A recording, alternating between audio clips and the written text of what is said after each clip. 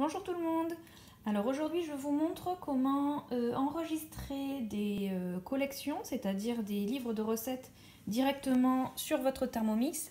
Euh, si jamais vous allez dans un endroit où vous n'avez pas de connexion internet, ça vous permet de les retrouver directement dans le robot sans avoir à le connecter au Wi-Fi.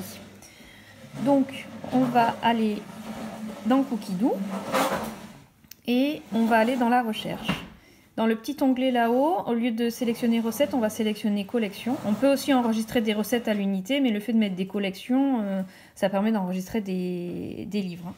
Et on va choisir la collection qu'on veut euh, intégrer. Donc euh, par exemple, on va mettre Rockstar, parce qu'on a besoin d'idées pour cuisiner avec la Betty qu'on vient de, de, gagner en atelier. Et on va cliquer sur sauvegarder tout simplement. Donc ça l'a enregistré dans ma bibliothèque. On connecte euh, son robot au Wi-Fi tant qu'il est disponible. Et on va aller dans mes recettes. Et là, on va pouvoir choisir collection. Euh, ça va se mettre à jour et ça va ajouter la collection qu'on vient d'inclure. Donc, on va retrouver toutes les recettes qu'il y avait dedans et auxquelles on pourra avoir accès plus tard euh, sans avoir à connecter votre, notre robot. Et on peut ajouter autant de collections qu'on veut. Donc euh, là, j'avais déjà intégré euh, pain et viennoiserie. on peut aussi ajouter le dernier livre qui est sorti, là, qui est sympa.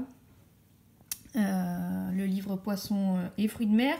ceux qui ont choisi le, le, pack à 30 euros en plus, vous, vous, allez l'avoir en papier ce bouquin-là. Et donc euh, voilà, on peut sauvegarder autant de collections qu'on le souhaite. Donc tant qu'on a sa, connexion, sachez aussi que vous pouvez tout à fait connecter votre robot au Wi-Fi de votre euh, téléphone. Hein. Ça fonctionne aussi sans problème.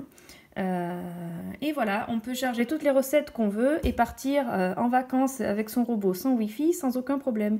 Évidemment, quand on s'en va, quand on veut déplacer euh, son Thermomix, on n'oublie pas d'activer le mode transport dans les réglages pour qu'il se verrouille et que la balance soit sécurisée. A bientôt